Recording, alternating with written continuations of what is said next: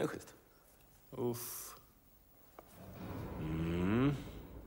Vilken jävla ossi. Råschysst också. Jag köpte upp det av en Sigge, sen sköt vi fiskmåsar med den. Snacka om fjäderregn.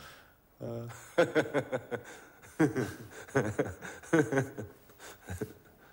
En sån skulle man ha alltså. Vad skulle det vara? Du vet om du håller till mig kan du få tusen sådana där. Vi har mycket framför oss du och jag. Ja, för fan.